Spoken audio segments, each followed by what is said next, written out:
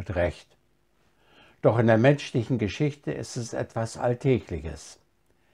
Perverserweise werden sogar die größten Massenmörder am meisten verehrt, sei es Alexander der Große, Caesar, Napoleon und in einigen Ländern sogar Hitler. Der Historiker Greg Hallett schreibt in seinem Buch Hitler war ein britischer Agent, dass er Deutschland nach den Anweisungen des Tavistock-Instituts zerstörte und die Geschichte dreist verfälscht wurde, um Deutschland die alleinige Schuld aufzubürden, obwohl die Verbrechen der Alliierten nicht geringer waren.